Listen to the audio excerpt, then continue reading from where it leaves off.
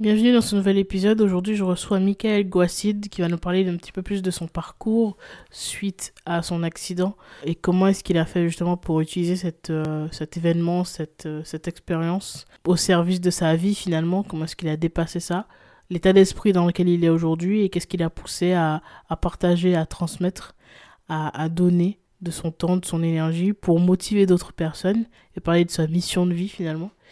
Si cet épisode te plaît, pense à me mettre 5 étoiles sur Apple Podcast et à le partager.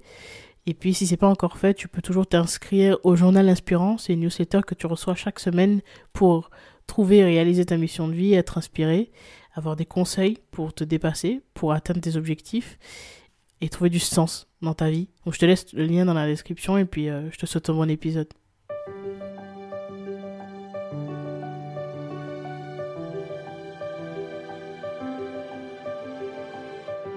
Bonjour et bienvenue dans Deviens Inspirant, le podcast qui te permettra de t'ouvrir à de nouvelles méthodes d'évolution, de réflexion et à une meilleure connaissance de soi. On abordera des sujets autour du développement personnel, de la psychologie et de la spiritualité. Je suis Gélissa Cerveau, je serai ton cobaye. J'apprends, j'expérimente ce que font des personnes inspirantes qui réussissent et je te transmets ce qui fonctionne le mieux dans le but de t'aider à devenir la personne que tu veux être et à inspirer ton monde. Salut Michael, merci d'avoir accepté mon invitation. Salut, salut, salut. Merci à vous de m'avoir invité. On peut se tutoyer si ça ne te dérange pas. Ok, pas de problème, on fait ça. Euh, comment vas-tu? Très bien, très très bien. Euh, surpris des élections, mais très bien. Surpris dans quel sens?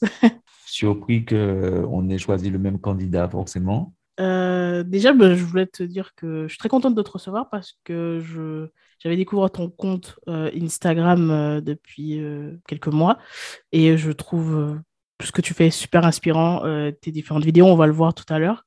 et puis j'ai aussi eu une recommandation de Tony Diaz que j'ai interviewé récemment, qui m'a parlé de toi, mhm. qui m'a donné en tout cas très envie d'en savoir plus sur toi.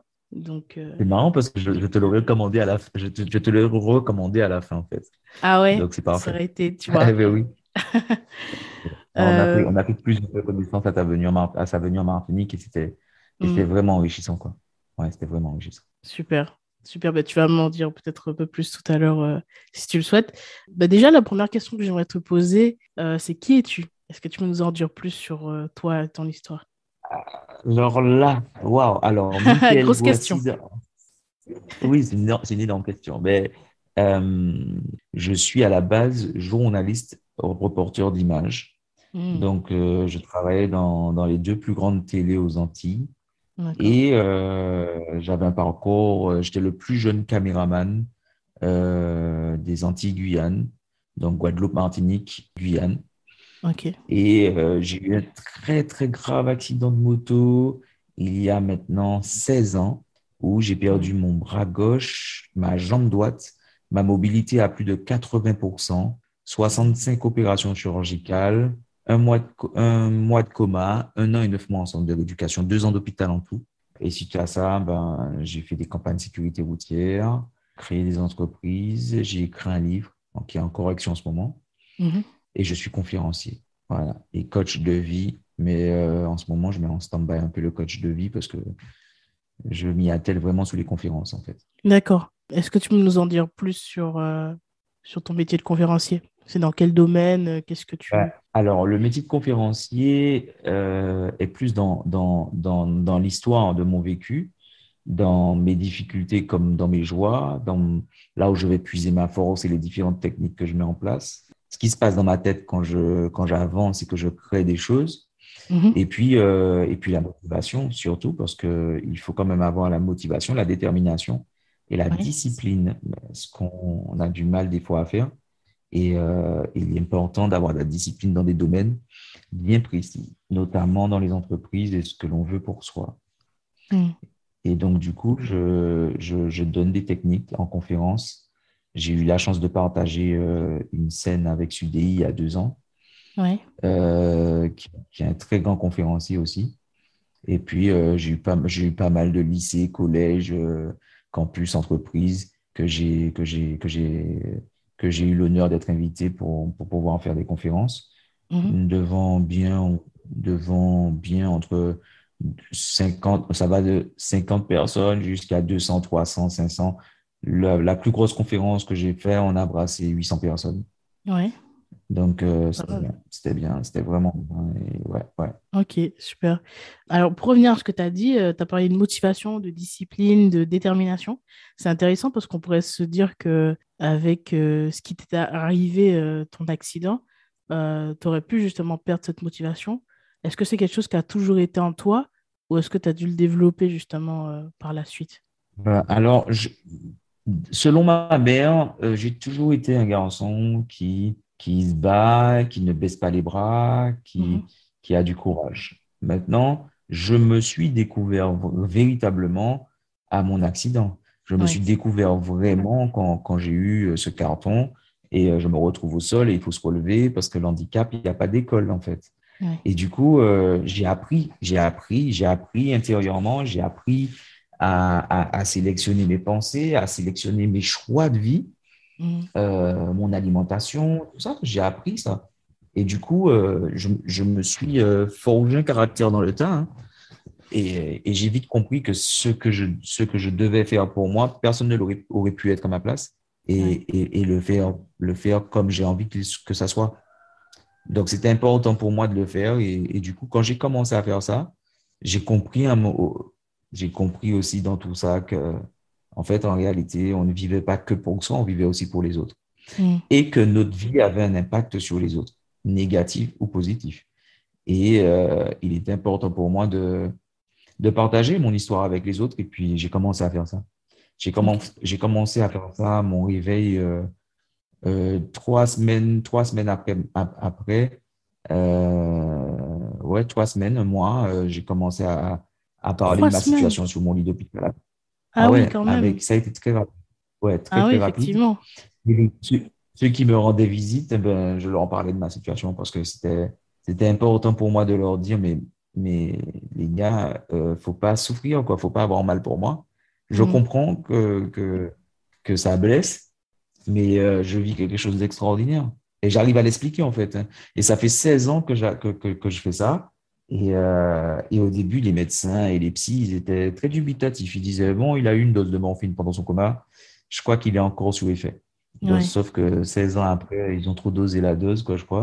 Parce que 16 ans après, ça continue. ça continue. Euh, et, et, et c'est beau, c'est beau à voir parce que ah, tout à fait. je fais des choix, je fais des choix et, et, je sélectionne mes pensées. Si ça fonctionne pour moi, ça fonctionne pour beaucoup de personnes. Donc, du coup, ça va. Je pense que je vais continuer.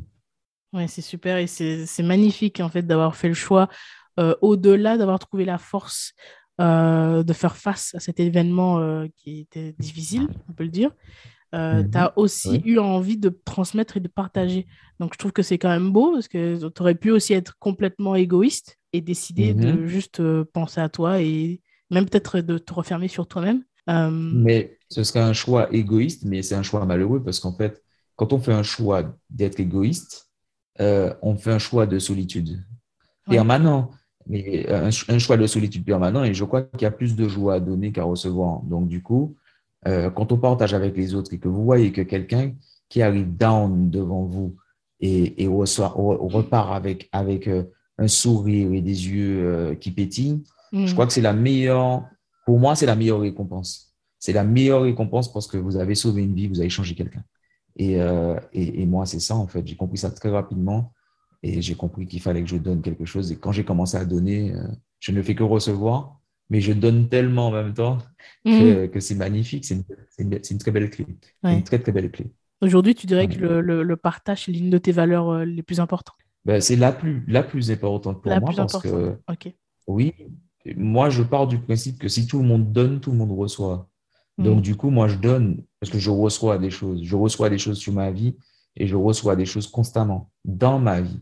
Et donc, du coup, je dis aux gens, mais c'est très simple. Hein. Vous voulez de la joie, il faut récolter de la joie. Vous voulez du bonheur, il faut récolter du bonheur. Si vous voulez de l'amour, il faut, il, faut, il, faut, il faut semer de l'amour. Et mm. euh, il n'y a, pas de, y a, y a pas de hasard, en fait. On récolte que ce que l'on a semé. Donc, du mm. coup, euh, tout le temps, tout le temps changer de, de, de, de choses. Alors, je dis pas que c'est facile à faire, hein, mais on a toujours un choix.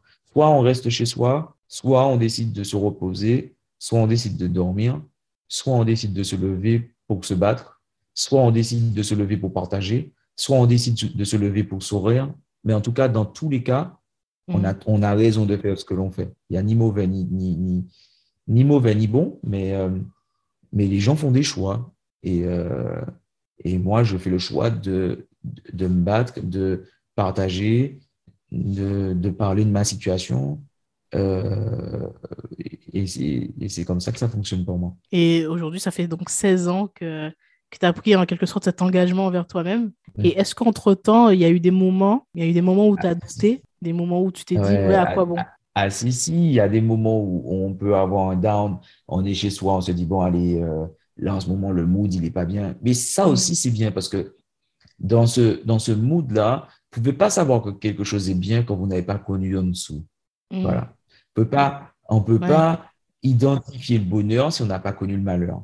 Mm. On ne peut pas identifier euh, la tristesse si on n'a pas connu la joie. Donc, pareil, inversement, si quand tu connais la tristesse, tu sais ce que c'est qu'une joie.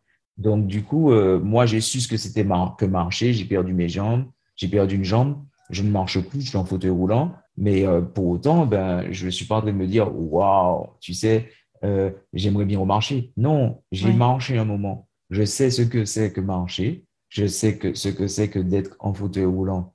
Et encore là, il y a, y a, des gens qui n'ont jamais connu la marche. Tu vois? Donc, est-ce qu'il faut que tu te plaignes de ça? Mais ben non, tu as connu la marche et tu ne remarches plus. OK, mais, euh, mais, mais, mais tu as marché un moment. Et il y en a d'autres qui, qui ne marchent, qui n'ont jamais marché. Donc, en fait, tu, tu trouves toujours plus down. Alors, il y a toujours mieux, il y a toujours pire, mais il n'y a pas comme toi, en fait. Et, et c'est ça, en fait, qu'il faut saisir. C'est qu'on a tous un rôle à jouer et euh, tu es né pour ton rôle, en fait. Et tu dois jouer ton rôle à la perfection. En tout cas, moi, j'ai accepté ma mission et je l'ai fait, je l'ai fait à la perfection. Ouais, c'est bien que tu parles de mission. On va y revenir tout à l'heure.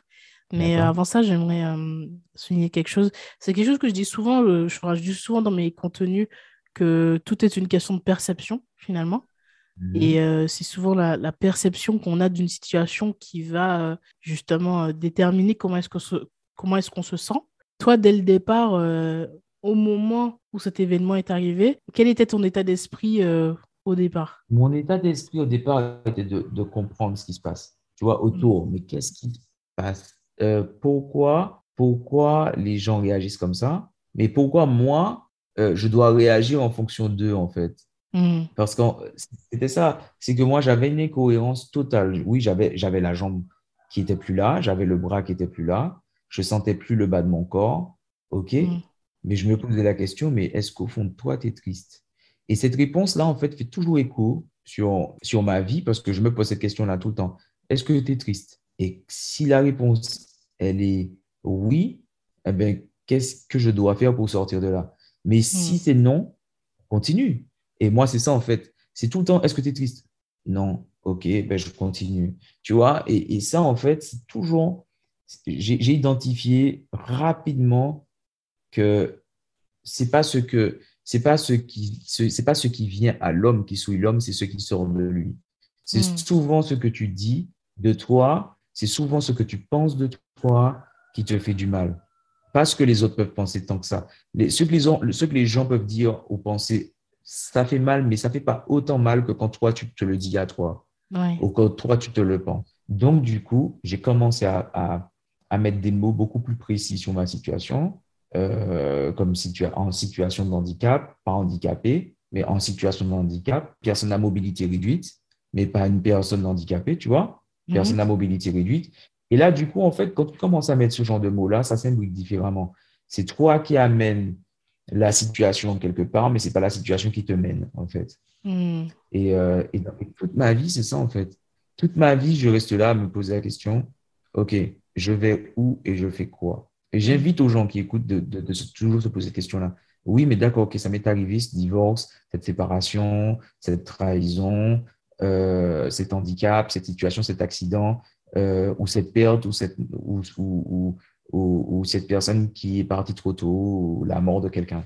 Mm. Mais oui, mais qu'est-ce que je vais faire de ça en fait? Qu'est-ce que je fais avec? Est-ce que je laisse cet, événement, cet événement me, me, me, me, me détruire, ou bien je le, je le prends comme une opportunité à grandir mm. Mais c'est ça en fait, parce que c'est se dire, est-ce que je le prends comme une opportunité à grandir? Hmm. J'ai grandi, j'ai pris, j'ai pris, j'avais 23 ans au moment de mon accident, j'avais la hmm. sensation d'avoir pris 10 ans. 10 ans. D'un coup, 10 ans, ma vie, ma vie s'est accélérée. Où je savais exactement où je devais aller, ce que je voulais dans ma vie. Je voulais plus perdre de temps. Et chaque seconde pour moi était, était précise parce que ce 17 octobre 2005, au sol, c'était mort pour moi. Tu vois C'était mort. C'était fini. Donc, du coup, je ne pouvais pas rester là à me dire, mais attends, mais le 17 octobre, tu étais déjà mort. Pourquoi tu vis encore là en train de te dire, ah oui, euh, moi, chaque matin, quand je me réveille, je respire, je me dis, hey, je suis vivant. Ben écoute, je vais croquer la vie, quoi, en fait. Je veux voir ce qu'il y a, je vais voir, je vais voir ce qu'il y a aujourd'hui, je vais vivre ce qu'il y a aujourd'hui parce que ben, ça peut s'arrêter là. Ça peut s'arrêter aujourd'hui. Je sais qu'un jour, j'aurai raison, ça va s'arrêter. Et comme je sais que ça va s'arrêter, c'est dans ma tête, c'est constamment dans ma tête. Et, et, et, et j'essaie de, de, de, ne pas m'inquiéter. Je ne veux pas m'inquiéter. Je ne veux pas rentrer dans des, dans des situations compliquées à me prendre la tête parce que ça peut s'arrêter dans une seconde, là, là, demain, ou quand je sors, ou quand on arrête de faire le podcast. Euh, mm. là, ben, je peux ne plus être. Mais quel serait, quel serait le message que tu laisses à la fin? Quel est ton dernier mot? Qu'est-ce que tu as fait? Moi, tu sais ce que je fais là, en fait? C'est ce que je fais constamment. J'aime faire ce que je fais. Ben, si je crève dans deux minutes, dans deux secondes, ben, j'ai fait ce que j'ai à faire. Tu vois ce que je veux dire? Mm. Je fais ça tous les jours. Quand je rencontre des gens, je parle, je discute avec les gens, je leur donne quelque chose. Parce que je sais que ben, si je crève, ben, c'est ce que je veux qu'on retienne, en fait. Mm. C'est ce que je veux qu'on retienne, parce qu'en réalité, c'est là, c'est je, je suis qu'un rappel et, et, mes multiples cicatrices, mes 62 cicatrices sur le corps, euh, mes opérations, mon histoire fait que ça rappelle à tout le monde que la vie, en fait, c'est une ligne, une petite ligne, et qu'elle est tellement fragile que tu peux la perdre à n'importe quel moment. Mm. À n'importe quel moment. Alors, pourquoi tu devrais te prendre la tête avec ta situation? Elle est compliquée, oui, d'accord, elle est compliquée, mais tu es encore en vie. Et si tu es encore en vie, ça veut dire que tu peux encore changer les choses. C'est ça le message. C'est que tu respires. Ça, tu peux changer les choses. Tu peux, tu peux décider que cette histoire-là, eh ben, tu vas la partager avec le monde entier. Et, et ça fonctionne. Ça fonctionne vraiment parce que elle deviendra ta force, elle deviendra ton histoire. Il y a des gens qui n'ont pas d'histoire. Hein. Il y a mm. des gens qui n'ont rien. Il se passe rien dans leur vie. Ils bougent pas, ils font rien, ils restent couchés toute la journée, ils font rien. Et ça, c'est leur histoire, tu vois. Mais, euh, mais il se passe pas. Il se passe, il se passe pas grand chose. Et ils se mettent à critiquer les autres, tout et tout. Les, les, les haters, on, connaît ça. Donc, les, ceux qui font le moins, finalement. Ben oui, ceux qui font le moins, mais ils passent leur temps à critiquer les autres. Mais toi, fais quelque chose, trompe-toi. Trompe-toi, fais des erreurs, relève-toi. Trompe-toi, fais des erreurs, relève-toi. Mais au moins, tu fais. Tu testes, tu es dans le mouvement, quoi. Tu vois, tu vis. Et, euh, et c'est important de, de, comprendre ça. C'est important. C'est pour moi, en tout cas, c'est vital pour moi parce que j'ai vu des choses changer dans ma vie et ma vie est juste extraordinaire. Moi, j'aime beaucoup. J'aime beaucoup ce qui se passe dans ma vie. J'aime, j'aime beaucoup comment je perçois les choses. Et puis face au combat. C'est face au combat, comment combattre? Comment tu combats, comment tu, comment tu sélectionnes tes pensées, comment tu vois les choses? Ça, c'est beau. je t'écoute avec beaucoup d'attention parce que effectivement, je trouve euh, tout ce que tu dis assez inspirant. C'est vrai que c'est un mot que j'utilise beaucoup, mais je ne l'utilise pas à moitié. Je suis vraiment convaincue par, euh, par ce que je dis. Euh, et les mots font sens. et donc, je voulais revenir sur quelque chose d'intéressant. Tu as dit que tu es toujours en mouvement, donc tu es toujours dans la recherche finalement de solutions. C'est-à-dire que tu es dans une dynamique où tu actives en fait de recherche de solutions constamment et finalement de ne pas prendre les choses comme une fatalité, mais plutôt comme une opportunité comme tu disais. Et moi, je trouve ça super intéressant. J'aimerais que tu nous expliques un petit peu bah, plus cette. Euh, moi, je, je, pratique beaucoup l'écoute passive et l'écoute active. Mhm. Donc, si je, si je m'écoute, je m'écoute énormément pour savoir comment je me sens, dans quel état émotionnel je suis, euh, qu'est-ce qui se passe autour de moi. Et quand j'identifie ça, j'identifie si c'est un bon mood ou un mauvais mood. Alors, du coup, je vais commencer par le mauvais et je vais finir par le bon. Si c'est un mauvais mood, je dois l'identifier suffisamment pour pratiquer l'écoute passive. L'écoute passive, c'est j'écoute et je n'agis pas, j'attends, j'observe et je réfléchis pour savoir exactement quelles sont les solutions qui peuvent m'aider à sortir de cette situation actuelle. D'accord? Mm-hmm. Et ensuite, l'écoute active, c'est quoi? C'est je m'écoute et j'essaie de voir comment je suis. Ah, je suis dans un bon mood. OK, donc je suis dans un bon mood, mais qu'est-ce que je peux faire aujourd'hui pour améliorer ça? Tu es tout le temps dans l'amélioration constante, ce qu'on appelle le Kaizen en Chine. Il faut toujours être dans l'amélioration constante, toujours chercher à s'améliorer, toujours chercher à comprendre pourquoi on réagit comme ça vis-à-vis de chaque chose. Pourquoi, quand quelqu'un nous dit quelque chose qui ne nous fait pas plaisir, pourquoi on a réagi ben, Si on a réagi, c'est parce qu'il y a une grande partie de vérité dans ce que cette personne nous a dit. Et là, en fait, en réalité, c'est une opportunité pour grandir. Ou quelque chose à travailler chez nous, peut-être. Exact, exact. Si on est dans la réaction, c'est peut-être aussi qu'on a justement une, euh, des insécurités, des, des blessures euh, qui peuvent euh, être réveillées par les propos de quelqu'un. C'est exactement ça. C'est ça, c'est exactement ça. Et c'est pour ça qu'il faut être tout le temps, tout le temps alerte et ne jamais. Euh, c'est toujours monter la garde, en fait. Tu dois monter la garde sur ton cœur, tu dois monter la garde sur tes pensées, tu dois monter la garde sur, sur, sur les personnes qui t'entourent. Et je dis pas ça, euh, être une espèce de psychopathe à monter la garde comme ça en train de surveiller les gens. Non, non. fais, fais, gaffe à ce que tu entends, fais gaffe à ce que tu vois. Il y a des choses qui peuvent te détruire, tu vois. Il y a des mots qui blessent. Il y a des mots qu'il y a des choses que tu peux entendre qui peuvent te faire rentrer dans des, dans des souvenirs. bon, moi, je prends un exemple. On est très, on, on, vit aux Antilles. Aux Antilles, il y a du zouk partout. Mhm. Mais la connotation du zouk peut être très joyeuse, mais c'est souvent des histoires d'amour ou de déception. D'accord? Donc, en fait, en réalité, si tu écoutes que ces genres de connotations de musique, il y a de fortes chances que dans ta vie, tu vas reproduire ce genre de choses. Mm. Tu vois? Parce qu'en fait, en réalité, on n'avance pas comme ça, en fait. On avance selon nos pensées. On avance souvent, on avance dans la vie, on fait des choses selon nos pensées. Donc, si tu es tout le temps alimenté de choses négatives, de choses euh, tristes, moroses, le journal télévisé, le, les informations, euh, les mauvaises informations, tout et tout, tu finis par tellement te polluer. On l'entend partout maintenant sur les réseaux, hein, ça. Mais tu finis tellement partout par te polluer qu'à un moment, tu finis par devenir ce que tu entends, ce que tu perçois, ce que tu comprends. Et ça, en fait, j'ai compris ça très vite. Donc, du coup, quand j'identifie quelque chose, ou quelqu'un me parle, j'écoute, j'écoute, et j'identifie ce qui est bien et ce qui est mal, je le mets de côté. Parce que c'est important, c'est une question de survie. C'est une question de survie, parce que la vie n'est pas simplement de rester debout. Hein. Tu peux être vivant et être mort à l'intérieur, éteint. Tout à fait. Ça se voit sous les personnes très mal. D'ailleurs, les personnes qui dépriment, ça se voit très souvent. En dépression, tu les vois, ils sont debout, mais ils sont vides, ils ont un regard vitreux, ils sont là. Tu, vois, ça, c'est triste. Hein. Ça, c'est des. et, pourtant, et pourtant, c'est des personnes physiquement qui sont bien. Hein. Mais à l'intérieur, c'est mort. Mm. C'est mort. Il n'y a, y a plus rien. Il n'y a plus d'espoir, il n'y a, plus de, a plus de vie. Pour que cette personne arrive là, elle a entendu tellement de choses et elle a cru tellement de choses qu'à un moment, elle, elle, elle, elle s'est accaparée ça. Et aujourd'hui, ça devient sa réalité. Elle, a rencontré quelqu'un ou, mm-hmm. ou, un événement qui l'a choqué. Et c'était tellement, elle n'a même pas travaillé sur elle, elle a pompé ça, elle a pris cette énergie et aujourd'hui, elle le manifeste comme ça. Elle manifeste ce qu'elle ce qu'elle pense constamment d'elle. Et si elle pense qu'elle est finie, eh ben, c'est ce que tu verras en fait quand tu regarderas cette personne tu verras de fini.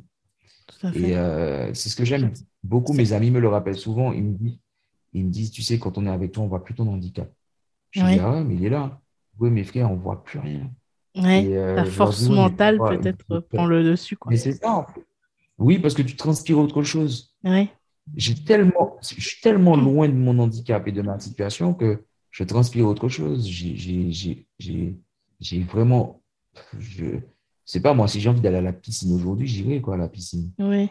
Et, et, et on va me mettre dans l'eau, je vais nager, et point barre, quoi, en fait. Mais c'est ce qui est dans ma tête, tu vois. Et, et, ça, en fait, les gens, il, y a il y en a beaucoup encore, il y en a beaucoup qui ont compris ça, mais il y en a beaucoup qui ne l'ont pas encore compris. Et les gens doivent comprendre qu'ils sont la manifestation de leur pensée. Tu es la manifestation de ta pensée la plus profonde, la plus, la plus intime, celle que tu connais. C'était quelqu'un de dégueulasse, il y a de fortes chances que ce n'est pas toi, la personne en elle-même qui est dégueulasse, mais ton subconscient. Il faut laver ça. Hmm. Et ton, ton, subconscient ou ton inconscient, une fois que tu as compris ce genre de choses-là, c'est là que tu dois faire le travail. Ok. Parce que, en fait, tu vas manifester, tu vas manifester, tu vas manifester ça. Hmm. Mais c'est intéressant ce que tu disais tout à l'heure sur, le, sur ce qu'on consomme finalement. Tu as parlé de musique, euh, de la télé, des mmh. infos, euh, des livres, toutes sortes de choses, même les réseaux sociaux finalement, parce que ça a un impact vu qu'on y passe beaucoup de temps aujourd'hui. Euh, ah, donc tu disais en fait que, le, que voilà, ce qu'on consomme va avoir un impact considérable sur nos pensées, et donc nos pensées vont avoir un impact sur nos croyances, et nos croyances vont déterminer finalement ce qu'on va attirer à nous, ce qu'on va manifester. Et donc, est-ce que toi, dans ton cas, tu as, as, dû à un moment donné faire un nettoyage, si je peux dire ça comme ça?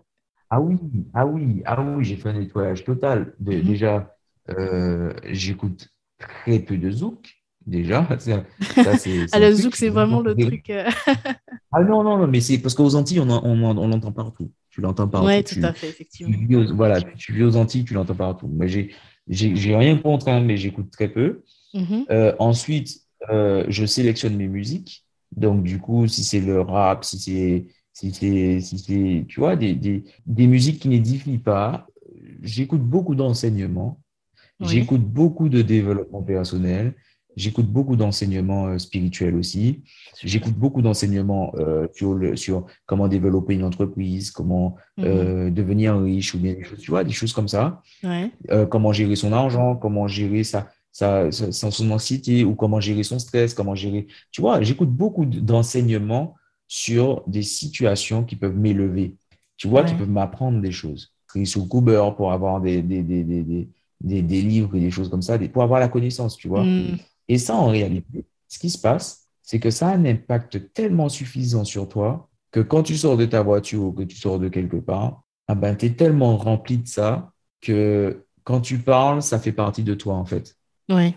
Quand tu parles, ça fait partie de toi parce qu'en fait, tu es rempli de ça, en fait. Et donc, si ça fonctionne comme ça, moi, je me dis, mais clairement, quand je rencontre quelqu'un, je lui demande qu'est-ce qu'elle écoute. Je dis, Elle hmm. me dit, mais comment ça? Je dis, dis-moi ce que tu écoutes. Généralement, qu'est-ce que tu fais de tes journées? Et il me suffit de passer une journée avec cette personne.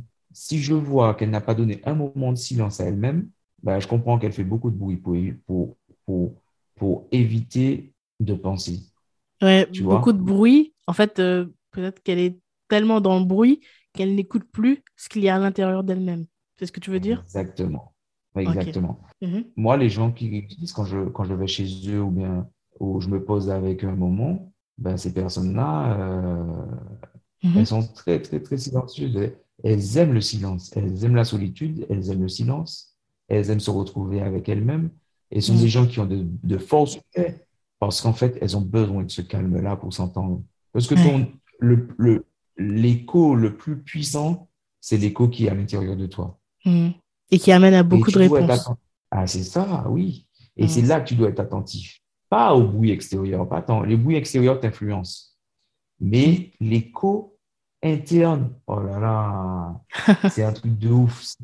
Tu fais pas attention, ce truc-là, si, si l'écho, ah oui, je suis nul, je suis nul, putain, t'es vraiment nul, ah, tu sais rien faire, regarde ta vie, Regarde, les gens s'amusent, toi, tu t'amuses pas. Regarde, tu es triste. Regarde, il te manque une jambe. Regarde, il te manque un bras. Ton fauteuil roulant. Ton ceci, ceci, cela. Eh ben, tu vois, cet écho-là, eh ben, si tu le calmes pas et que tu ne le fais pas taire, eh ben, il te détruit. Au final, ça fait une journée. Alors, sinon, ça fait déjà une seconde. Après, ça fait, ça fait quelques minutes. Ensuite, une heure, deux heures, trois heures, une journée, deux journées, trois journées, une semaine, un mois, un an, deux ans, trois ans, la dépression. Hmm. Mais tu as vu, ça commence par une seconde. Moi, j'enlève cette seconde-là. Tu vois, j'enlève hmm. cette seconde-là. Dès que je commence à penser, je dis, oh, allez, boum, on change. Tu vois, je dis, ah, ne viens pas. Ça va, je connais, je te connais, je t'ai déjà identifié, je te connais. Ne rentre même pas là, mon gars. Et je suis en guerre directe. Et là, parce que, en fait, mais ça, c'est ma méthode. Hein. Oui, bien sûr. Et là, direct, direct, direct. Dès que j'entends une musique, je fais hey on change. c'est vraiment euh, finalement radical euh, sur ce que tu consommes. quoi. C'est une question de survie. C'est une question de survie. Quand tu l'as compris, quand tu l'as compris, c'est une question de survie. Tu dis aux gens, hey, mais n'écoute pas ça. Ils te disent, mais t'es un fou, toi. Tu dis, ouais, t'es un fou. Vas-y, continue à danser. Tu verras, continue. Tu dis, danse, danse, continue. Mais après, viens pas me voir. Tu vois, mais tu sais ta musique, tu quoi que, machin. Je dis OK. Mais après, les résultats, c'est quoi? Mes potes aujourd'hui, La majorité de mes potes m'appellent quand ils ont un problème. Mm. Mais ils sont bien importants. Mais ils m'appellent quand ils ont un problème. Ah, mais qu'est-ce que tu penses de ça? J'ai eu telle situation. Et quand moi je parle de ma, situation, personne n'a de réponse. Ils me mm. disent tous, ben ouais, tu vas gérer ça, on te connaît, tu, vas, tu sauras gérer ça. Mais ça, c'est normal parce que je m'applique, tu vois, je m'applique à ça. Il faut que les gens apprennent à, à, s'appliquer pour eux-mêmes. Mm. Applique-toi parce que tu sais ce dont tu as besoin dans ta vie. Et ce dont tu as besoin, tu es le seul à pouvoir le réaliser. Je ne veux pas réaliser exactement ce que tu veux pour toi, ça. Mais mm. euh, toi, tu peux réaliser pour ta vie ce, que, ce dont tu as besoin vraiment. Donc, du coup, tu sais, tu sais quoi faire en fait. Et pour, pour savoir vraiment quoi faire, il faut se taire un moment, il faut rester dans son silence, s'écouter et dire Ah ouais, ok, je ne savais pas que c'était aussi tragique. Et comme mm. c'est tragique, qu'est-ce que je dois faire pour pouvoir, tu vois, qu'est-ce que je dois faire pour pouvoir changer les choses? Parce que les mêmes actions produisent les mêmes effets. Oui, effectivement. Effectivement. Euh, je vais revenir juste sur une chose. Euh, au-delà de ce que tu consommes, on a parlé aussi d'entourage, donc les personnes que tu laisses rentrer finalement dans ta vie euh, et les personnes que mhm. tu peut-être que tu dont tu te sépares. Tu dis que tu as fait un nettoyage avec le contenu. Mhm. Est-ce que tu as aussi fait ce nettoyage avec ton entourage Et il y a une chose aussi, bon, ça m'amène à une autre question aussi, par rapport au regard des autres. Quelle place il a dans, dans ta vie finalement? Alors, pour, pour ce qui est du nettoyage, je ne fais pas vraiment de nettoyage en fait. C'est que tu ne vas pas te retrouver au même endroit que. Déjà, quand tu changes toi-même, tu ne peux pas te retrouver là où tu as été, où c'était sale, ou bien là où tu as été, où ce n'était pas ton environnement. Je ne sais pas, moi, si je vais chercher un bouquin, je ne vais pas le chercher dans une porcherie. Je vais le chercher à la bibliothèque ou dans une librairie. Et ça, en fait, en réalité, c'est ça. Ce que tu veux, tu vas le chercher. Donc, en fait, tu n'auras pas les mêmes amis là, selon là où tu vas. Donc, je n'ai pas, pas fait de nettoyage. J'ai simplement suivi là où je veux aller. Et là où je veux aller, ben, je rencontre de nouvelles personnes et des personnes qui vont au même endroit que moi ou bien des gens qui partagent la même passion que moi. Donc, ça s'est fait tout seul. Donc, ça, c'est déjà le premier point. Ouais, ça se fait tout seul. Naturellement, les gens. Euh, ouais. Ben oui, ouais, je, je crois que ben, si tu vas dans un milieu sportif, tu vas rencontrer des gens qui font du sport et ceux qui ne font pas de sport, ben, même si tu as des amis qui ne font pas de sport, à un moment, ça va les lasser. Mm. Donc, euh, vous, allez, avec le temps, vous allez vous, vous, éloigner l'un vers l'autre. Tu fais des choses qui, qui font sens pour toi et tu avances justement dans cette direction, peu importe le bruit extérieur. Donc, euh, quelle place ça a finalement dans. Ben, il, y a trois, il y a trois regards. Il y a celui qui te regarde avec, euh, avec félicité, passion et qui va dire Waouh, génial ce que tu fais. Et puis, mm. Waouh, génial la personne que vous êtes, puisque je vous observe depuis tout à l'heure et je vois des choses. Tu vois, il y a ce premier regard-là. Tu as le deuxième regard de questionnement, tu vois, où celui-là, il là. Oh, waouh, qu'est-ce qui lui est arrivé? Qu'est-ce qu'il a eu? Qu'est-ce qu'il a eu comme carton? C'est quoi son histoire? Tu vois, comme ça. Et puis, tu as le troisième regard où c'est la pitié, quoi, tu vois. Direct. Mm. La personne, elle ne te connaît pas, elle ne cherche pas à savoir. Oh, c'est triste, qu'est-ce qui vous est arrivé? Tu vois, elle ne pose, pas pose pas plus de questions. Elle, c'est la pitié, c'est tout. Bon, En fait, toi, c'est qu'est-ce qui fait écho chez toi et qu'est-ce que toi, tu connais de toi? Moi, je regarde plus les gens, en fait. J'arrive plus. Je les vois pas. Je cherche pas à traduire non plus. Et ce n'est seulement quand on me pose une question que je vais répondre. C'est marrant que tu me dis ça parce que cette semaine, euh, j'ai été au centre commercial avec ma sœur et euh, arrivé au centre commercial, on fait nos affaires tranquille. Et quand on sort, ma sœur me dit, mais comment tu fais? Je dis, mais de quoi tu parles? Tu avec moi, euh, comment je fais? Tu as vu, je, je, fais quoi. Elle me dit, non, mais les gens, ils te regardent, tout ça. Je dit, ah bon? T'as vu les gens nous regarder? Elle m'a dit, ouais. Je dit, mais j'ai vu personne, moi. Elle m'a dit, oui, mais les gens te regardent. Je dit, ben, désolé, j'ai vu personne. Hmm. Parce que je m'occupe de mes affaires aussi. Je reste beaucoup dans mon couloir. Hein. Je, moi, je reste dans mon couloir et c'est tout. J'ai pas, j'ai pas le temps à, à, observer, sauf si je le fais volontairement, à observer les gens. Mais, mais, euh, mais quand j'ai quelque chose à faire, euh, ouais je suis un truc, quoi. Tu vois, je pousse mon fauteuil et je vais, je, je, mm. si je vais chercher ma chemise, je vais chercher ma chemise. Tu ne prêtes pas attention à tout ce qu'il y a autour. Tu es vraiment bah focus sur ce que tu as à faire. Quoi. ah ouais, il y y a, trop de choses à faire en 24 heures pour que, pour que je puisse rester là, regarder les autres. Mm. Pas, je ne peux pas m'arrêter là, m'arrêter un moment, regarder quelqu'un et essayer de comprendre ce qu'il vit, ce qu'il fait, sauf si on me le demande, sauf si je suis en mission, si on me pose une question, il n'y a pas de problème, mais je veux pas. Moi, j'observe pas les gens pour, pour, critiquer, quoi, en fait. Ouais. Je, je vais observer des gens pour m'enrichir, pour, pour, comprendre. Oui, mais observer quelqu'un pour critiquer, j'ai pas le temps. Donc, du mm. coup, en fait, je regarde pas. Je, je fais mes trucs si je suis en mission. Et pardon, hein, s'il y a des gens qui m'ont déjà croisé et que, qui voient que je passe, c'est, c'est, je fais mes affaires, en fait. C'est mm. pas méchant. C'est juste que j'ai des trucs à faire. Et j'ai tout le temps des trucs à faire. J'ai tout le temps des trucs à faire, quoi. Je, a pas, j'ai pas une seconde à moi où je suis là en train de, regarde, tu vois, le temps qu'on a pris pour faire ce podcast, les mm. rendez-vous qu'on a eu, j'ai, tu vois, et que j'ai pas pu honorer, ben, c'est pour te dire que ça va vite, tu vois. Tu es là, tu, tu, fais des trucs, bon, boum, on t'appelle par là, tu fais un truc. Non, j'ai trop de choses à gérer. J'ai des sociétés, j'ai des entreprises à gérer. Euh, euh, aux Antilles, ils connaissent bien, ils savent. Non, non, j'ai trop de trucs. tu as, des choses à faire et tu as des choses à construire, des choses à créer euh, et tu étais finalement préoccupé par ton évolution personnelle et non pas par ce que les autres pensent. Et juste pour faire une petite parenthèse par rapport à ça, c'est vrai que c'est important pour ceux qui ont un problème avec le regard des autres.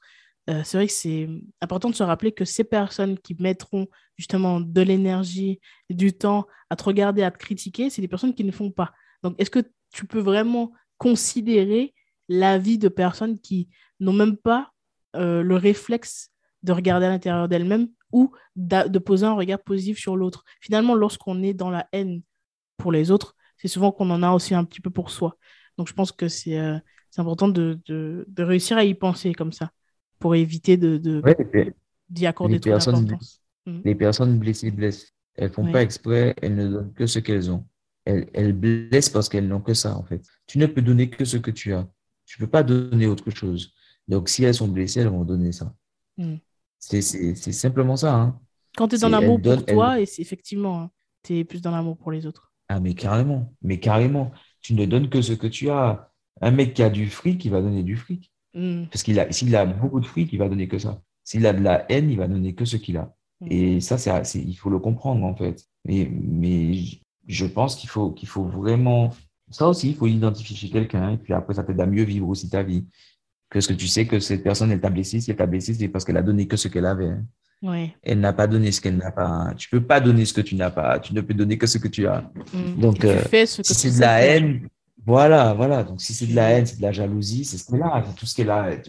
Moi, souvent, pour m'amuser quand quelqu'un me blesse ou bien quelqu'un me sort un truc, ou bien si je tombe sous quelque chose ou un hater, ben, je dis toujours, euh, OK, c'est tout ce que tu as donné. Merci. C'est tout, parce qu'en fait, c'est tout ce qu'elle avait à donner.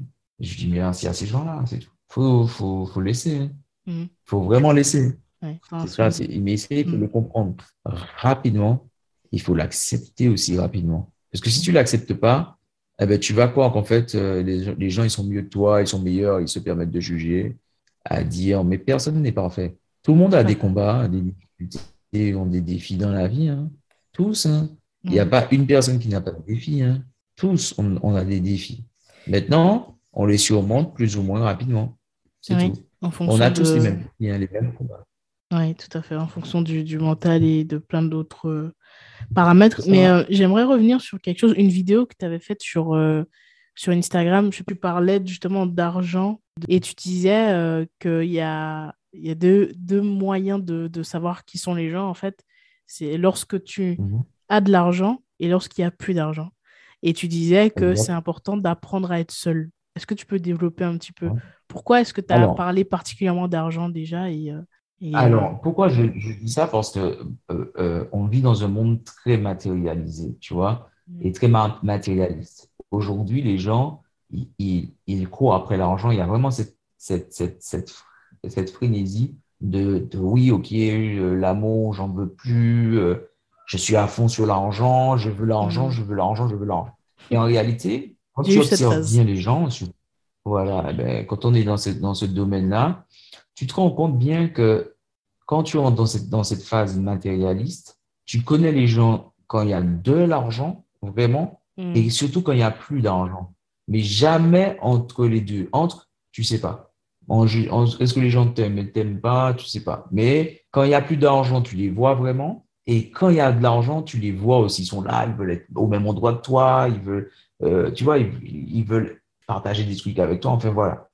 ça, c'était mon premier point. Et le deuxième point, c'était sur le fait d'apprendre à être, seul. Parce que, en réalité, quand tu apprends à être seul, tu commences à t'apprivoiser toi-même. Donc, tu commences à accepter l'autre pour ce qui est, pour ce qui il est, pas pour ce que tu veux voir de lui, pas pour ce que tu attends de lui, mais pour qui il est. Donc, en fait, quand tu le côtoies, quand tu parles avec cette personne, tu n'as pas d'intérêt caché. Donc, ta relation, elle est beaucoup plus vraie quand tu apprends à être seul. Elle est beaucoup plus vraie avec les autres parce que tu acceptes l'autre comme il est, que quand tu n'apprends pas à être seul, tu as toujours tendance de vouloir des amis parce que justement, j'ai peur d'être seul, donc je veux des amis. Donc, c'est un intérêt suffisant pour se faire manipuler. Hein. Ça, ce genre de truc-là, quand, tu n'aimes pas ta solitude, eh ben, c'est une raison suffisante de dire, ben, il me faut quelqu'un, il me faut du monde avec moi, il faut que j'ai des amis, il faut que j'ai des gens. Rentrer, euh, ben oui, tu laisses rentrer, tu laisses rentrer n'importe Voilà, tu laisses rentrer n'importe qui parce que la peur d'être seul est trop, est trop grande. Elle est grande. C'est comme si tu es affamé et qu'on te peine euh, un plat, quoi. Donc, euh, tu vas vraiment te sauter dessus. Ben, tu as faim, on t'amène une galette de terre, tu vas la bouffer. Mmh. C'est tout. Tu on t'emmène une galette de terre avec de la boue dedans, tu as faim. Donc, tu vas la manger. Mais tu crois que c'est un cadeau. Mais on t'amène une galette de terre avec mmh. du sel, des trucs comme ça, on l'a fait chauffer au four. Et tu manges un gâteau, un gâteau de boue. Mais tu as faim. Mais si tu n'avais pas faim, ton ventre il est rempli, tu vas identifier que c'est une galette de terre et que tu vas pas la manger. Et tu d'accord, donc on va pas te, on va pas te manipuler en te disant, waouh, mais c'est génial, regarde, c'est une superbe galette. Non, j'ai vu que c'est une galette de terre, frérot. Non, mm. ne viens pas, il y a ton truc. Plus tu, je dis pas d'être un ermite, hein. Je suis pas là en train de dire aux gens, ouais, sois l'ermite, tu vois. Non, sois seul et tu vas te rendre compte qu'en fait, tu as un réel pouvoir d'apprivoiser ta solitude parce que tu auras des amis, mais des amis euh, sincères autour de toi. Mm. Des gens elle aussi aime être seule et qui te côtoie parce qu'elle a envie de prendre du temps avec toi. Elle va chercher du temps à passer avec toi, tu vois, mais ce sera cool. Mais tu ne seras pas dans la relation de manipulation, en fait. Tiens, reste chez moi dormir ce soir, viens à la maison, on va manger une pizza.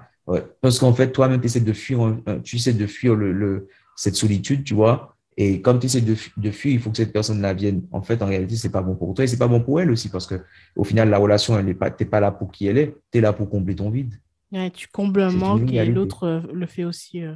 Voilà, donc c'est une réalité mm. et, euh, et, ça fait mal. Hein. Et combien de personnes qui, qui, qui, veulent tout le temps avoir des amis autour d'elles parce que bon, ben, eh ben, elles, sont malheureuses, elles sont malheureuses seules. Mm. C'est affreux. Je vois ça, hein, des gens qui souffrent de la solitude, quoi. C'est qui ne ah absolument pas imaginer, ou même, tu as parlé d'amitié, mais même les relations de couple, il y a des gens qui supportent pas être célibataires parce qu'elles considèrent qu'il faut absolument être avec quelqu'un d'autre, sans même se poser la question de pourquoi est-ce qu'elles veulent être avec quelqu'un, en fait. Voilà. Et bien souvent, c'est un manque euh, qu'on veut combler, quoi. Donc, c'est... Ouais, c'est ça, et c'est triste. Hein. Imagine que tu, tu, tu, tu rencontres quelqu'un et cette personne, elle, elle, elle, veut, elle veut simplement être avec toi parce qu'elle a peur d'être seule. Hmm. Pas pour toi. Hein. C'est triste. Juste parce qu'elle a peur d'être seule, en fait. C'est elle, en fait, elle, elle-même. Et donc, du coup, elle, elle s'accroche à toi parce qu'elle a peur d'être seule. En fait, ça s'appelle les relations singées. Et en fait, ce qu'elle va faire simplement, c'est qu'à un moment, eh ben, elle, va, elle, va, elle, elle est avec toi et quand elle sent qu'elle ne peut plus te manipuler ou bien quand elle sent que tu partiras, elle va chercher, ou bien la, première dispute que vous aurez, eh ben, il faut qu'elle trouve quelqu'un d'autre pour, que, pour te remplacer. Et le mm. jour où elle va trouver quelqu'un d'autre pour te remplacer, boum, elle va t'éjecter.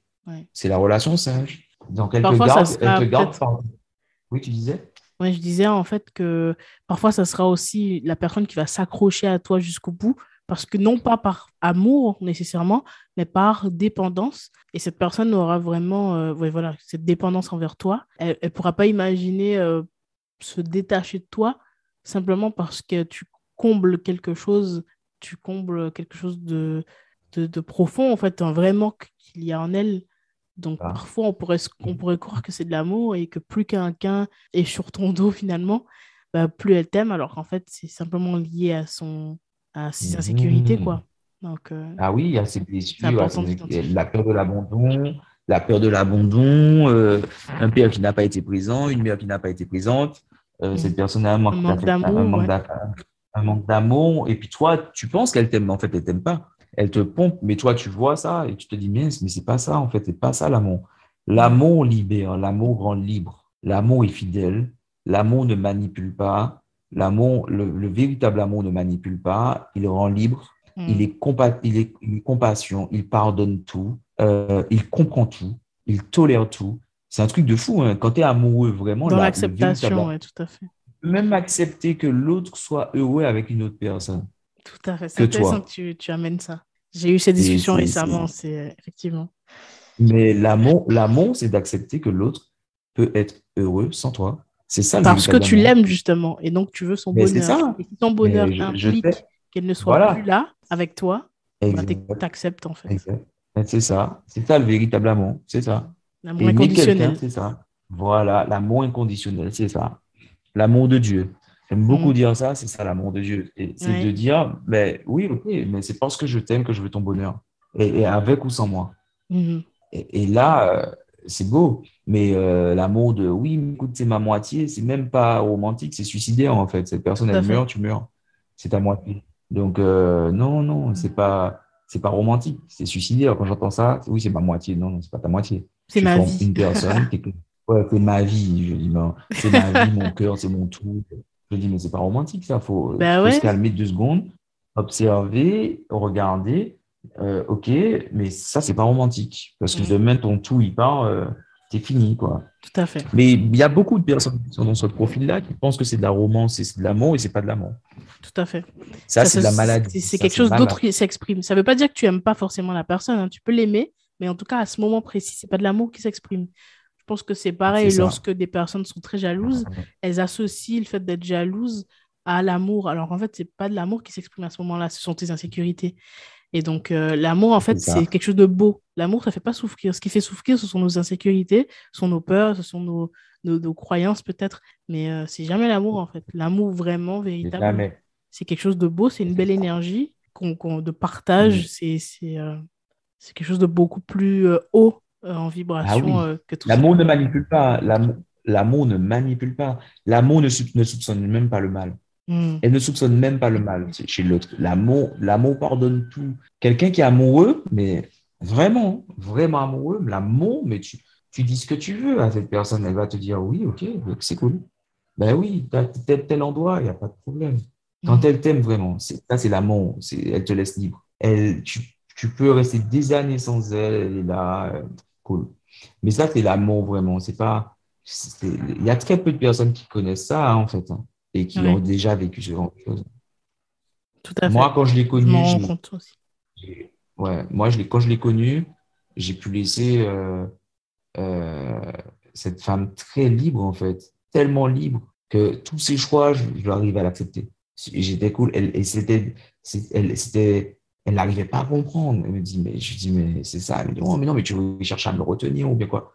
Je dis, non, mais en fait, en réalité, non. Et c'est beau quand c'est comme ça, en fait. Quand tu l'as expérimenté, tu sais, ce que c'est. Mais toi aussi, tu es léger. Hein. Tu es léger parce que quand tu. Plus dans la peur, dans l'angoisse, dans le, la peur qu'on te ah. laisse, euh, la peur qu'on te rejette. Non, non, tu es tranquille. Tu es vraiment tranquille. Réussir à atteindre ce niveau-là, ce niveau d'amour, ça implique aussi qu'on a atteint un niveau d'amour pour soi qui soit important. Euh, mhm. Dans ton cas, euh, l'amour de soi, aujourd'hui, est-ce que tu as dû apprendre justement à t'aimer plus? Et si on est, il y a une personne par exemple qui nous écoute et qui, qui a du mal à, s'aimer, à avoir confiance en elle, qui doute d'elle-même, euh, qu'est-ce que tu pourrais lui dire? Moi, le conseil que je pourrais donner à cette personne, moi j'étais quelqu'un qui m'aimait déjà beaucoup. Hein. Donc, je mhm. m'aimais déjà beaucoup. Et après mon accident, j'ai appris à, m'aimer encore plus parce que c'était vital pour moi. D'accord? J'ai abîmé mon corps, j'ai perdu mon bras, ma jambe, j'ai abîmé mon corps mais il est important pour moi de, ce que j'ai de ce qui me reste d'en prendre soin.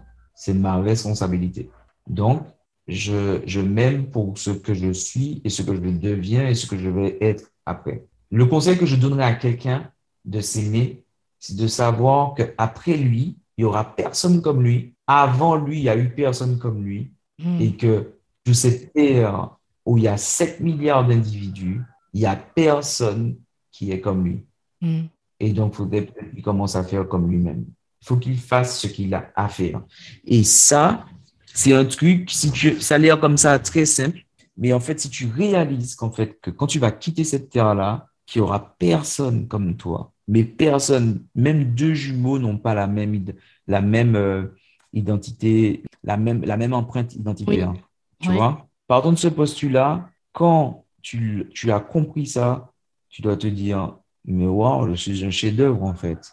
Hmm. Parce qu'il n'y aura personne c'est que quand quelque chose est unique, il prend de la valeur. Tu vois, quand quelque chose est unique, il prend de la valeur. Et on est tous uniques. Donc, on a tous de la valeur. Et donc, du coup, tu devrais commencer déjà à t'aimer parce que c'est extraordinaire. La personne que tu es est extraordinaire. Cette personne que tu es là, à l'instant T, est extraordinaire parce qu'il y aura personne comme elle. Elle va, quand elle va quitter cette terre, il y aura personne comme elle. Il y aura personne. Il y aura d'autres individus, mais il y aura personne identique comme elle, elle a été avec ses, avec ses gènes, avec ses mm. qualités, ses défauts. Personne. Mm. Et donc, moi, le jour où j'ai saisi ça, je me suis dit, waouh, waouh, mm. ok, ok. Et j'ai commencé à m'étudier. J'ai commencé à m'étudier, à apprendre encore plus sur moi. Je me dit, wow, mais je m'attendais pas là. Je pensais pas que j'aurais compris ça. Je m'attendais pas là. Je pensais pas que j'aurais réagi comme ça. Je m'attendais pas là, tu vois. Et j'ai toujours des rendez-vous avec moi-même comme ça. Et je me dis, waouh, tu as fait ça. OK, tu as réalisé ça. OK, tu as réalisé ça. OK. Et c'est ce que les gens doivent comprendre. L'amour de soi, c'est important, comme l'amour de Dieu, mais l'amour de soi, très, très important parce que euh, même quand tu vas, même quand tu es en relation avec les autres et que tu leur dis, ouais, mais est-ce que tu m'aimes? Ils vont te dire oui, mais ils te diront jamais oui comme toi, tu aurais aimé qu'ils te disent oui. Ouais. Parce qu'en fait, tu ne t'es jamais dit oui à toi-même. Et le jour où tu te, diras oui à toi-même, tu ne demanderas à personne de t'aimer. Tu diras, je m'aime et, euh, et c'est une évidence si les gens t'aiment ou ils ne t'aiment pas. Mais c'est pas grave, ça, en fait. C'est, c'est pas grave parce qu'en fait, tu t'aimes, en fait. Moi, je m'aime. Je m'aime et, et j'attends pas l'aval des autres, en fait. C'est pas, c'est pas, tu n'es pas là en train de, c'est pas de la prévention, c'est pas de, c'est de la prétention et puis de la vanité mal placée. Oui, tout à ah fait. moi, je déteste entendre ça. Non, non, non, c'est pas ça. Ouais, ouais, non, c'est pas ça. C'est pas, ouais, je m'aime, je suis trop parfait. Non, c'est pas ça. Hein. C'est, euh, c'est, oui, je m'aime. Je, je m'aime. Et, On a le droit de s'aimer, quoi. C'est... ouais, voilà, je, je suis droit dans mes baskets, je suis bien avec moi-même, quoi, tu vois. Mm. J'ai pas, je me compare pas à d'autres, je me compare pas, ok, il est cool, ouais, voilà, moi aussi. Ouais. Tu vois, moi aussi. Et, et je m'exclus pas, quoi. Je m'exclus pas, ben ne t'exclus pas non plus, et, voilà, on est bien. Ouais. C'est intéressant que tu dises, euh, que c'est pas de la prétention. Mais moi, en fait, je, quand je disais euh, que je déteste entendre ça, c'est parce que je déteste qu'on associe une personne qui s'aime à quelque chose de prétentieux, à quelqu'un de prétentieux. En fait, et même lorsqu'on considère que quelqu'un est prétentieux, je vois pas pourquoi ce serait un problème. Moi, c'est mon mmh. état d'esprit. Hein. Je sais qu'en France, on a un problème avec les gens qui s'aiment. Hum, je sais pas d'où ça vient ce problème-là, mais c'est un fait. Et finalement, on va plus, on va essayer d'encourager une personne qui ne s'aime pas et qui se dévalorise en lui disant mais non, tu peux y arriver, ouais, es, non, t'es beau, t'es belle, etc. Mais, mais quand quelqu'un s'aime déjà, on a un problème avec ça. Mais en fait, pourquoi est-ce qu'on pousse quelqu'un à s'aimer et on rejette quelqu'un qui s'aime déjà Et je me dis qu'en fait, il y a toujours ce, ce, truc un peu étrange où on t'aime en fait lorsque finalement on va te valider lorsque tu t'aimes pas trop, lorsque tu fais pas trop de bruit, trop de bruit pardon, lorsque tu n'es pas trop présent. Et lorsque tu t'aimes vraiment et que tu te considères, c'est comme si ça fait finalement une. Ça met en lumière le manque d'amour que les gens ont pour eux. Parce que finalement, je pense, moi c'est mon opinion, tu me diras ce que tu en penses, mais je pense que ceux qui s'aiment vraiment ne sont pas dérangés par ceux qui s'aiment, tu vois, par les autres. Mais tu as totalement raison. Tu as totalement raison, c'est ça. C'est exactement ça. Ceux qui s'aiment ne sont pas dérangés par ceux qui s'aiment. Mmh. C'est tout. Enfin, c'est très français. Ce qui Oui, mais c'est incroyable. quoi. Bah, l'éducation française fait que on est, on est en, compétition, enfin, compétition très, très, très. C'est très français d'écraser les autres et de se croire meilleur. C'est très français. Euh, alors, il y a une éducation qui est bien réelle aux États-Unis, qui, qui, est, qui est inexistante en France hein, et qui commence à venir. Ne serait-ce que euh, pour les gens riches qui réussissent, hein, d'ailleurs. Voilà, mais en, aux États-Unis, quand tu tombes, ça n'intéresse personne. D'accord? Quand tu réussis, ça n'intéresse personne. Quand tu tombes, tu réussis, ça intéresse un peu. Quand tu tombes, tu réussis, tu tombes, tu réussis, c'est intéressant. Tu vois? Mm. ils, ils, aiment pas. Ils aiment, là, tu as réussi. Ok, d'accord, elle est nulle ton histoire. Tu dis ça comme ça, tu vois. Ah, tu as réussi, ok, elle est nulle. Tu es tombé, c'est nul. Tu es tombé, j'ai réussi. Tu es tombé, j'ai réussi, tu m'intéresses. Tu vois? Ça, c'est ça aux États-Unis. En France, c'est tu as réussi, tu es un connard. Tu as échoué, tu es un connard. Tu as réussi, tu es tombé, tu es un vrai connard, quoi, en fait. Hein. Tu n'apprends rien, tu es un connard. Tu vois? C'est ça, en fait. Et, et, et, mais c'est ça. Et, les gens aux États-Unis, ils aiment, il y, a cette, il y a cette éducation, ils aiment les success stories. Mm. Tu tombes, tu te relèves, tu, te relèves, tu tombes, tu te relèves, tu tombes, tu te relèves. Waouh, c'est génial. Et là, tu es dans un truc. Mais ouais, mais non. Tu sais qu'aux États-Unis, ils font un système de récompense. Ils ne récompensent pas les premiers, on récompense les derniers. Parce qu'il mm. faut beaucoup de courage pour les derniers. Il faut beaucoup de courage pour arriver, de participer à une course et que tu arrives dernier. On va récompenser les premiers, mais on récompense aussi le dernier. Et dans certaines écoles, ils encouragent les derniers parce qu'ils disent, OK, d'accord, tu as peut-être été dernier dans ce cursus-là, mais il y a d'autres matières dans lesquelles tu es le premier. Hmm. Et c'est ça qui est bien. Donc, on va te récompenser pour ça, tu vois. C'est tout. Mais euh, je, crois, je crois que dans les derniers temps, euh, les gens comprendront vraiment que, que échouer, réussir fait partie de la vie. Mais plus tu, le, plus tu grandis, de toute façon, tu le comprends. Mhm. Tu le comprends quand tu avances dans l'âge, dans la maturité, tu le comprends. Quoi, Et ton échec ne te définit pas. Pas associé un ben échec à, ta, ton identité. Quoi. Tu es beaucoup plus que ça quand même. Exactement. L'échec fait partie de la vie, mais ça ne doit pas te définir. Moi, mon handicap ne me définit pas. Quoi. Là où je suis tombé ne me définit pas. Les gens se cachent des fois derrière ce genre de choses. Euh, je pense, mhm. les gens se cachent un petit peu derrière euh, pas mal de, de choses. Ouais, mais j'ai, j'étais pas très bon à l'école. Ouais, mais j'ai eu cette enfance. Ouais, mais j'ai, j'ai eu, euh, il y a cette personne qui s'est, qui s'est comportée comme ça. Les gens se cachent derrière tout ça pour pas euh, prendre de décision, alors qu'en fait, tes actions de tous les jours, chaque action a un impact. Et c'est ça, en fait, qui définit qui tu es. C'est, c'est un ensemble de choses. C'est, c'est est-ce que tu es aligné? Est-ce que tes paroles et tes actions sont alignées? Euh, C'est ça, en fait, qui a un impact. Et je pense que rester attaché à un événement ou une expérience, je trouve que c'est réducteur. Mais c'est plus facile de se plaindre, hein, c'est bien, c'est bien connu. Hein. C'est plus facile de se, de se plaindre que de se battre. Hein. C'est plus facile de dire oui, c'est la faute à l'autre, c'est la faute à quelqu'un, que de dire euh, non, euh, je me bats, je me lever, c'est bon, je me réveille de ça. Mais non, c'est plus facile de dire oui, c'est sa faute, c'est mm. plus, plus simple. Ah oui, c'est plus agréable. C'est parfois facile de dire que oui, bah, ma femme, elle m'a quitté, donc du coup, voilà. Mon mari m'a quitté, donc du coup, c'est voilà, c'est pour ça, c'est à cause de lui. Ouais, c'est plus facile. C'est très difficile de dire oui, je suis responsable. Mais être de dire je suis responsable du fait qu'il m'a quitté, c'est terrible. Je suis responsable du fait que j'ai échoué, c'est terrible pour quelqu'un. T'imagines mm. pas le travail qu'elle a fait psychologiquement pour assumer le, truc. Donc, automatiquement, elle ne veut pas le faire. Hein. Elle veut pas le mm. faire. Moi, en tout cas, je l'ai fait et je m'en sors très bien. Ça fonctionne très bien dans ma vie. Et c'est ce que fois, tu disais, je suis responsable de mm. chaque, action. Être responsable de chaque action. C'est ce que tu disais tout à l'heure aussi, euh, le fait de regarder à l'intérieur de soi, parce que ça demande un courage énorme. C'est parfois très douloureux, hein.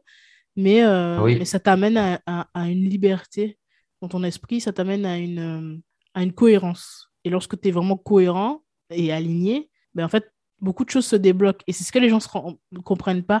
Parce qu'il y a un petit peu ce, ce, je sais pas si on peut dire un biais, mais comme ça, euh, chez l'être humain, qui fait qu'on qu'on préfère rester dans une souffrance qu'on connaît plutôt que passer à l'action parce qu'on a peur euh, de cette souffrance éventuelle qui pourrait éventuellement être plus douloureuse que celle qu'on connaît. Donc on reste dans une situation euh, qui craint, un couple, un, job, une situation, on continue à fumer ou à avoir certaines habitudes, parce qu'on connaît cette douleur-là, tu vois. Alors que sortir de ça, ça implique des efforts qui pourraient être potentiellement plus douloureux. C'est pour ça que la, majorité des gens qui souffrent préfèrent rester dans, dans leur confort parce que c'est plus facile. C'est plus simple. Ils ne voudront pas, ils veulent pas s'en éloigner parce qu'ils connaissent ça et ils se disent, bon, ben, c'est moi, moi, moi, je connais ça. Mais s'ils savaient qu'ils mangeaient que des miettes, il y a tellement de choses à voir, à découvrir. Le monde, il est grand, il n'est mm. pas petit. On est comme 7 milliards sur Terre quand même. Il faut sortir. faut euh, sortir. J'aimerais qu'on parle de, de, de, regrets. Tu disais euh, tout à l'heure que, que tu fais des choses voilà, qui font sens pour toi et que si tu devais euh, décéder dans deux jours ou demain ou même aujourd'hui, tu serais fier de, de ce que tu as fait finalement? Parce que tu as toujours mhm. euh, mis en place des actions qui étaient euh, cohérentes et qui faisaient sens. Souvent, euh, on se rend compte à la fin d'une vie, les gens ont souvent des regrets, ils se disent mais j'aurais dû, j'aurais dû faire ça, j'aurais dû passer à l'action. Qu'est-ce que tu pourrais dire aux personnes là, qui nous écoutent, des personnes qui ont peut-être envie de mettre en place des choses, qui ont peut-être envie de lancer des projets ou changer de vie, mais qui n'osent pas Alors, moi, je, je leur dirais que l'erreur est permis. L'erreur est permis. Il faut, il faut des fois accepter le fait qu'on puisse se tromper, qu'on n'ait pas raison sur tout et qu'on n'aura jamais raison sur tout et qu'on peut faire des erreurs et quand cette erreur arrive, ok, elle est là. Déjà, il faut accepter le fait que oui, ok, on s'est trompé. Ensuite, le regret, euh, tout le monde en a, tout le monde peut en avoir, mais il y a un moment où tu peux décider de ne plus avoir de regret. Assumer les, conséquences de tes actions. Oui, j'ai fait ça, euh, je, je me suis retrouvé dans telle situation. Écoutez, j'ai appris, je ne regrette pas, j'ai appris ce que j'ai appris. Et c'est dommage que ça soit pas, ça soit passé comme ça, mais j'ai appris. Et ne pas regretter parce qu'en fait, en réalité, mec, c'est comme si tu dis à quelqu'un, je regrette d'avoir été avec mon ex. À l'époque, tu disais pas ça. Tu étais avec quelqu'un et c'était le besoin du moment. C'était le besoin. C'est tout ce dont tu avais besoin à ce moment-là. C'était elle, c'était lui. Et c'est ce que tu voulais. Donc, tu peux pas regretter quelqu'un. Donc, tu, tu, tu, as vécu cette histoire. Elle était pas, elle était, elle, s'est pas terminée comme toi tu voulais. Ben, il n'y a pas à regretter, en fait. Il y a juste, ben, OK, qu'est-ce que j'ai appris? J'ai appris ça, ben, c'est génial. OK. Mais le regret. Mais dans le cas, dans le cas où on n'a pas fait ce qu'on voulait, justement. Alors, dans le cas où on n'a pas fait, ben, c'est le moment de faire. C'est c'est simplement ça. Moi, je le dis. Moi, j'ai eu ma, j'ai ma maison, mon bateau, ma vie, ma voiture, mes entreprises. Euh, j'ai eu des enfants avec la femme que je voulais parce que je voulais ça. Et, et, pas autrement. Après mon accident, avant mon accident, quand j'ai eu mon, avant mon accident, il y a des choses que je voulais que je n'avais pas encore réalisées. Après mon accident, quand j'ai ouvert les yeux, j'ai tout réalisé. Hmm. Tu vois? Donc, parce que, ben, tu es encore en vie et tu peux encore réaliser ce que tu, ce que tu, ce que tu veux, en fait, ou ce que tu n'as pas encore fait. Et c'est à toi de le faire. C'est à toi de, de, alors, je sais pas quel est ton rêve, je sais pas quelle est ta demande, mais à un moment, il faut réaliser ce que tu veux faire.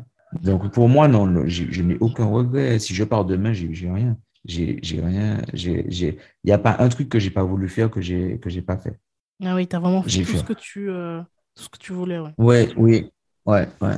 Oui, et, euh, et euh, je n'ai aucun regret. S'il faut tout refaire, je referai tout comme c'est là. Je referai tout, tout, tout, tout, tout comme ça. Ouais, mais ça, c'est moi. Hein. je referai tout. Ok, mais c'est c'est dire que finalement, tu comprends le sens euh, dans, dans chacune des choses que tu as vécues et que enfin, voilà, tu, tu, te réappropries un petit peu les choses que, sur lesquelles tu n'as pas eu de contrôle et tu agis sur ce sur quoi tu as du contrôle. Mais c'est ça. Mm. C'est ça. Et ça, c'est constamment qu'il faut le faire. Tu as parlé d'enseignement, du fait d'apprendre de ce qu'on vit. Est-ce que tu pourrais nous citer un enseignement voilà, important que tu retiens de, de tes expériences? Un enseignement, ah, euh, si tu continues à faire ce que tu fais, si tu continues à faire ce que tu fais, tu continueras à avoir ce que tu as. Les hmm. mêmes actions produisent les mêmes effets. Donc, change. Et ça, c'est un enseignement qui qui est constamment dans ma tête. Si je veux changer quelque chose, il faut que je fasse quelque chose de différent. Hmm. C'est tout. Tu veux parler anglais, apprends l'anglais ne reste pas avec que des Français. Euh, et si tu veux, si c'est vraiment ce que tu veux, il faut que tu fasses d'autres actions. Tu peux pas. Einstein disait, celui qui est fou, c'est celui qui fait les choses de la même façon tous les jours et qui s'attend à un changement. Tu mmh, vois? Tout à fait. Tu peux pas, tu peux pas te réveiller tous les jours à, 10 heures du matin et te dire, ah ouais, punaise, il y a très peu, il y a très peu d'heures dans une journée. Réveille-toi plus tôt, mais tu vas voir que ce sera différent. Tu peux pas avoir du poids et vouloir changer euh, devenir mince, avoir euh, des muscles et puis ne pas aller en salle, tu vois, ou ne pas te lever le matin pour faire du sport physique. Mm. Euh, tu peux pas avoir une, façon de penser euh, négative et te dire ah ouais mais écoute je continue à regarder les les, les fucking informations les, trucs fuck. Et puis après ouais, je vais changer. Voilà et que je vais changer mon, mon, mon mindset. Non. Tu dois toujours te dire que si tu veux d'autres résultats dans ta vie, il faut, il faut faire autre chose. Et moi, c'est le, le, voilà, il faut faire autre chose, il faut faire un truc qui te plaît, tu as envie d'aller à la mer, eh bien, mec, ne reste pas sous le sol en train de nager, tu y vas pas. Va mm. dans l'eau. Pour moi, c'est ça, en fait, ça fonctionne, c'est vraiment la vie. Super. Euh, durant cet échange, on a, parlé, on a beaucoup parlé d'amour. J'imagine que c'est quelque chose qui t'accompagne mm. dans les actions que tu entreprends. Aujourd'hui, est-ce que tu dirais que c'est un petit peu ce qui est au centre des actions, de tes intentions? Est-ce que est-ce que ce serait ça, en fait, euh, l'intention principale derrière des actions? Ben oui, parce que si tu n'as pas d'amour, tu fais rien. Hmm. Si tu n'aimes pas ce que tu fais, moi, j'aime ce que je fais. J'aime mes entreprises, j'aime ma famille, j'aime mes parents, j'aime, partager avec les gens, j'aime l'être humain. Donc, du coup, j'aime ce que je fais. Donc, du coup, je, non, je, je suis content. J'aime, j'aime beaucoup. Oui, il y a beaucoup d'amour derrière ça. Ce que je fais là, j'ai dit ça avec toi là, ben, j'aime ce que je fais, tu vois. C'est pas, c'est pas un temps que je prends, je prends pas deux heures pour faire un, podcast parce que bon, ben, j'aime pas ce que je fais, j'ai envie de m'en débarrasser, non, tu vois. J'aime ce que je fais, j'aime donner, j'aime expliquer, j'aime prendre le temps de répondre aux questions et j'aime ça en fait. Donc du coup, je le fais avec beaucoup, beaucoup d'amour et beaucoup de, de sincérité surtout parce que c'est mm. c'est très important. Et ça se Il n'y a rien qui me lasse en fait parce que oui, et puis il n'y a rien qui me lasse parce que c'est ça ma vie en fait. Y a, ça me lasse pas en fait, je fais ça. C'est un choix et, j'aime ça. ça. Et au, début au début de l'interview, tu disais, tu as parlé de mission. Euh, dans mon podcast, je parle beaucoup de mission. Euh, et justement, j'accompagne et j'aide des personnes à trouver leur mission de vie et la réaliser euh, mm. avec un projet qui fait sens pour eux. Est-ce que tu dirais aujourd'hui que tu as trouvé ta mission de vie? Oui, oui, carrément. Carrément, j'ai trouvé ma mission de vie. Ma, mission est de challenger les gens afin qu'ils puissent se dépasser, se surpasser et, et, de, et de faire transpirer le réel pouvoir qu'ils ont à l'intérieur d'eux-mêmes. Hmm. La, la vérité, la vraie vérité, c'est que tu peux tout faire, que tout est possible. Hmm. Mais il sera fait selon ta foi, il sera fait selon tes convictions, il sera fait selon tes croyances, il sera fait selon là où tu regardes, il sera fait selon ce que tu écoutes, il sera fait selon ce que tu dis de toi et ce que tu penses de toi. C'est tout. Mm. C'est tout. Ça, c'est la vérité.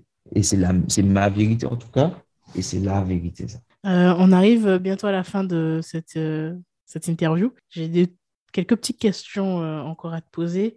Déjà, est-ce que tu auras un livre qui t'a inspiré, un livre à nous recommander? Ah j'en ai un, c'est euh, Maintenant ça suffit, il faut que ça change d'Ivan Castanou. Oui. C'est un pasteur qui a écrit ça. Il est très bien ce livre. D'accord. Ensuite, les quatre accords Toltec et le cinquième aussi. Il est bien.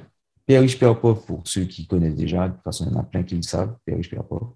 Il y a euh, le miracle morning que j'aime bien aussi. C'est une très belle histoire, mais elle aide énormément les gens. Ouais, c'est top. Voilà. C'est ce qui me vient un peu à l'esprit là, en ce moment. Ok. Il y a l'esprit numérotique qui est pas mal. Ok. Et puis, euh, écoute, tu nous, en tu nous en as donné euh, plusieurs. Donc, euh, j'essaierai de mettre le, la liste dans la description. Bah, je les connais tous, sauf maintenant, ça, ça, ça suffit, c'est ça? Ouais, maintenant, ça suffit. Il faut que ça change d'Ivan Castan. Il y a un audio sur YouTube. C'est spirituel, mais c'est sympa.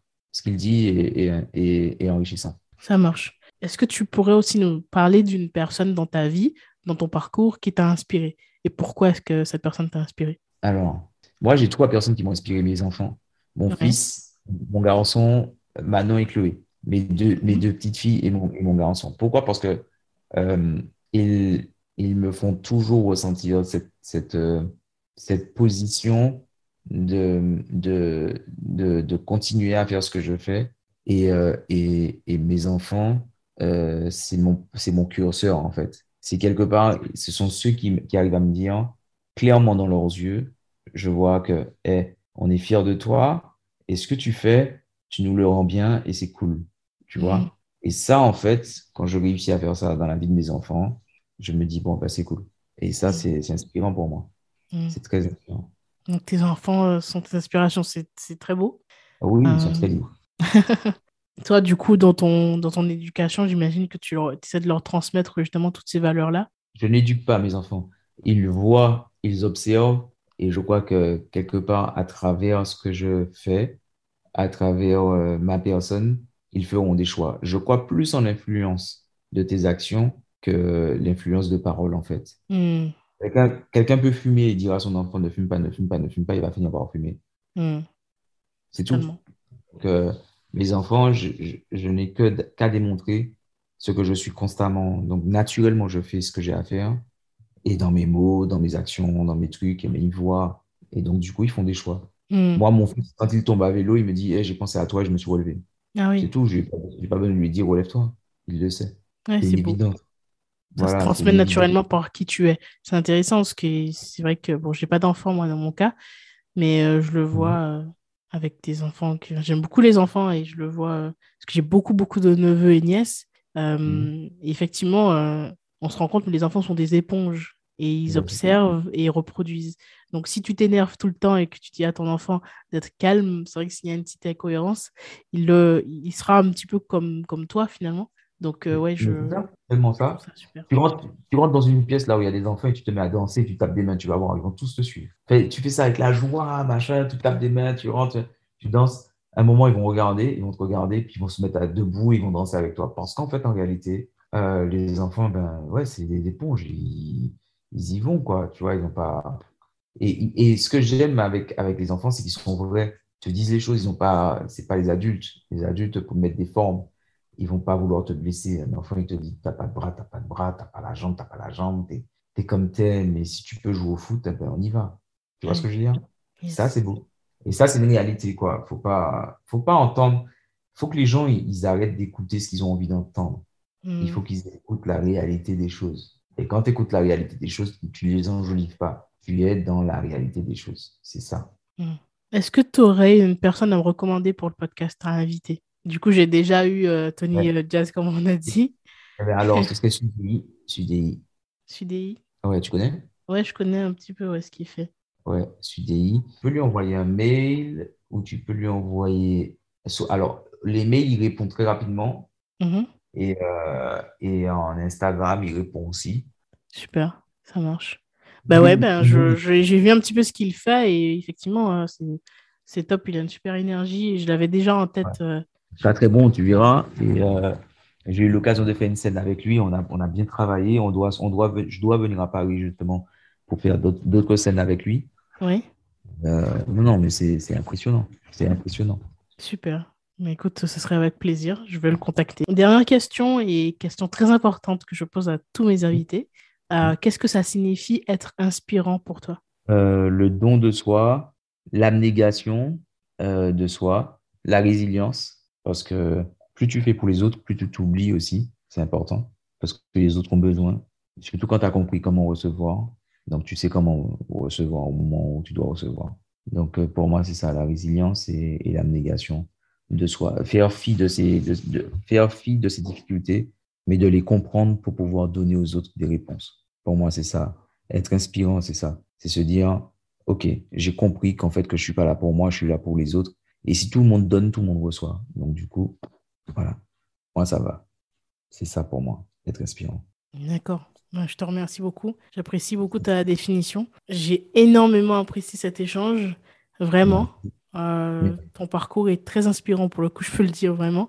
Et puis, euh, toutes les clés un petit peu que tu as apportées, j'espère que les personnes qui nous ont écoutés jusque-là euh, ont pu, ont pu prendre note de, de, tout ce que tu as dit, parce que je pense que ça peut être très utile pour tout le monde finalement. Parce qu'à un moment, on a tous voilà, à un moment donné, peut-être besoin d'une inspiration, besoin d'un petit coup de pouce. Euh, parfois, euh, on, est, comme tu disais, dans des moments down.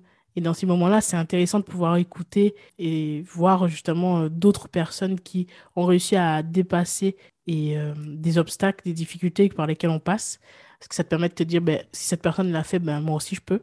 Et je pense que c'est en ce sens que être inspirant, justement, ça, ça, a un énorme pouvoir parce que ça permet de, de donner la force aux autres de, de se lever, de, de, faire ce qui, ce qui est important pour eux et puis de dépasser les choses, les, les, les challenges quoi, de la vie. Donc, euh, j'ai été ravie de pouvoir euh, échanger avec toi sur ça. Et vraiment, c'était top. Ça fait plaisir. Et j'ai aimé la simplicité aussi à laquelle on a échangé. Et c'est une très bonne chose. On n'a pas besoin de le faire compliqué. Essayez de vous simplifier la vie. Tout va bien. Et j'ai aimé ce podcast parce que il est simple. On n'est pas entré dans des techniques, tu vois, des choses compliquées. C'est bien. Mm. Et puis, puis la simplicité, des fois, parfois, et souvent, c'est la meilleure chose à faire. Être simple. Merci à toi, ça. merci à toi. Vraiment merci. Mais continue à faire ce que tu fais. T'es l'étoile, la balai dans ton camp. Super. Merci beaucoup. Merci, Gélissa.